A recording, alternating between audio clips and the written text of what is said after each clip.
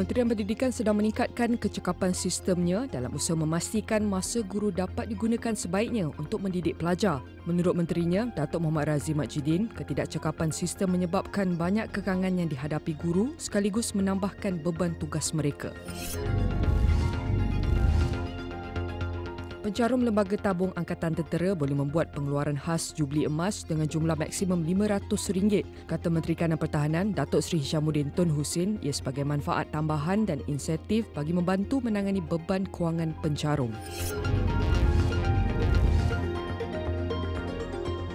Sumber Kementerian Kesihatan Malaysia mengesahkan ia sedang membangunkan rangka kerja untuk belajar daripada Thailand berhubung dasar penggunaan ganja tujuan perubatan. Laporan penuh di saluran 501 dan astroawani.com.